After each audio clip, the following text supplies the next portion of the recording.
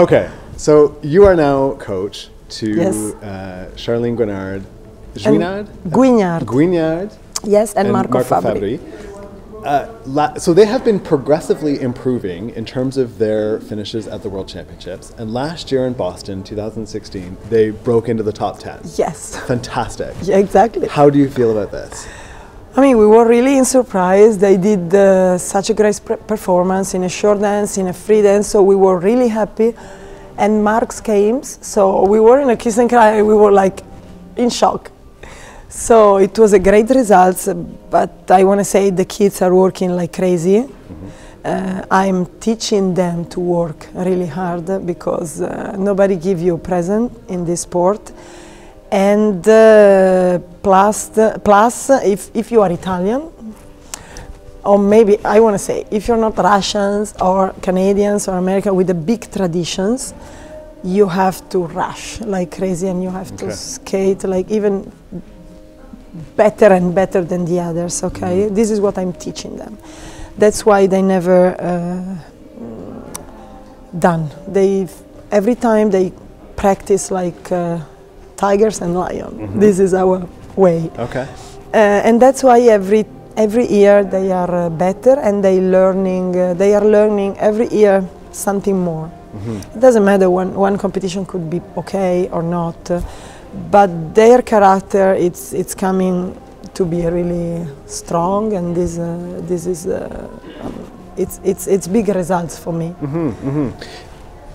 In the top 10, Mm-hmm. like the teams from first to ninth, Uh, they're, they're big teams. They're really Absolutely. good teams. How, what do you think it's going to take now to crack further, to climb further up into the top 10, appreciating as well that Virtue and Moir are back? Exactly. So, presumably, yeah exactly a lot of teams from sort of fourth down are, are going to shift down. Yes. You know, if if Virtue and Moir skate to the same, you know, same pinnacle, the same ability that they did prior to to 2014. Okay, first of all, my teams will my team will have the possibility to skate and compete with Virtual Moir. So for them, it will be another lesson. Okay, just to see them how they are on the ice because they never had the opportunity to to compete with them in a, such a big competition. So it will be great for them. This.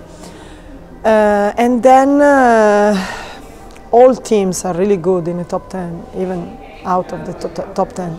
Uh, we need to move step by step. We are there, we work, and then let's see who is getting better, who is improving, who has a better programs. Uh, I think my team has a good quality of skating skills, uh, nice programs. I mean, I like. I, I hope people also will like because Yeah. this is the first big first competition for us. So we are starting the season, and um, we'll see how we'll go. I mean, we are ready to attack, and uh, we are ready to learn also from the teams that are better than us. Yeah. Why not? So I'm curious to know. I mean, as as a successful ice dancer yourself, looking at the evolution of the sport Mm-hmm. since 2000, uh, at the time that you were at the top, the pendulum has really swung. Where ice dance used to be a European-dominated sport, Mm-hmm. and now the North Americans and the Canadians have really broken through. Yes. Uh, and the training centers are also now largely in the U.S. Yeah. Uh, and then Everything is after changing, yeah. 2014, the French team just out of nowhere starts hitting off world records Exactly. a- and, and, performing really well. What's your sense of all of this? I mean, it's a lot of things to say. It's Yeah. uh, it's a big change uh, because uh, how you say and uh, in, in our moment uh, it was just uh, us, French, Lithuanian, and yeah, Bourne and Kraatz, Canadian. Uh, but how you say the Europeans were really, really strong. And then also in Torino, 2006, Belbin Agosto came, and uh, they were really young team. uh, But they show, I mean, with the silver medalist, uh, with the silver medal, they, they show that they were really strong.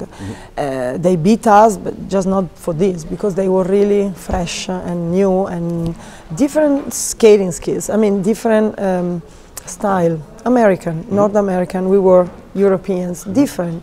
So it started to, to, it started this era with the, this way of skating, okay? Mm, a little bit more smooth, uh, more romantic, uh, less aggressive. Um, and this is now is the way that we follow. Um, yeah, exactly. Now the French team, uh, new team, like really young, uh, but amazing skaters. I'm impressed because like like Virtue and Moir at the Olympic Games, I mean into, in Vancouver they were like 19, this team same age, like 19, mm-hmm. really really young. At, in my moments we were starting to be a champion when we were a little bit older. Okay, so now everything is really changing. Mm-hmm. What can I say? I I'm just looking to them and I'm I'm trying to catch from them the best thing that I have also with my team, we are looking to them, we are trying to understand why they are better than us uh, and uh, what we can do to be better. And what do you so think it is? What qualities do they have that are so special? oh, they have like, uh, if we are talking about the French, they have a quality of uh, skating skills that it's really amazing and they are skating together for a long time like Virtue and Moir. Okay, maybe Virtue and Moir a little bit more, but also Papadakis and Cizeron, they are skating together for a long time, like many years. So the connection, if it's working, because sometimes it's not working, so teams split up. If it's working, I mean, you can see a team when it's skating together for a long time mm. because it's like one person. And uh, to me, they show me that they are like one person. One movement is going into the other movement and everything is so natural, even if they are 19 mm-hmm. or 20. Mm-hmm. And normally, at, at my moment, uh, at, uh, at 19 years old, we had to work like crazy until 28 to be. I don't want to say like them because maybe we never skate like them. We had different quality. It was different moment.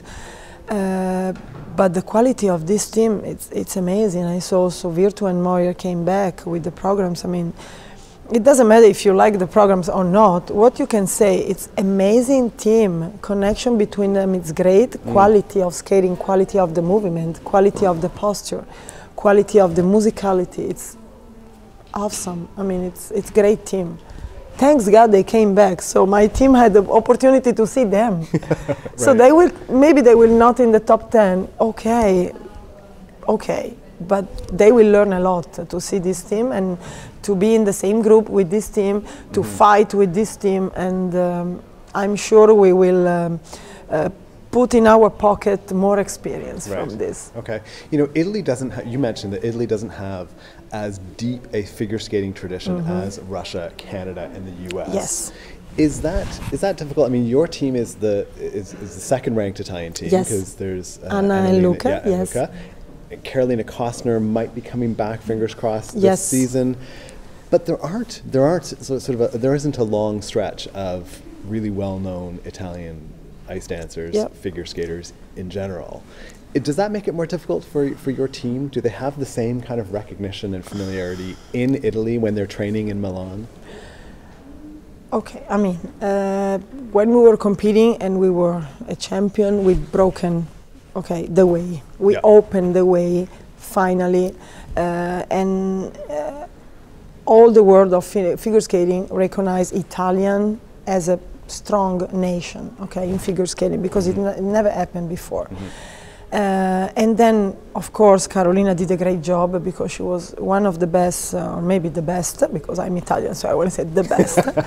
And then next, Anna and Luca, that they did again the miracle that we did in the past. So they become again world champions, and it, it was really great. Uh, I want to say great present again for Italy because they worked like crazy. Mm-hmm. They were practice also sometimes with me and Maurizio. Anna was practice with me and Maurizio when she was really young. So mm. we saw them grow up uh, in, in the years into the top. Mm-hmm.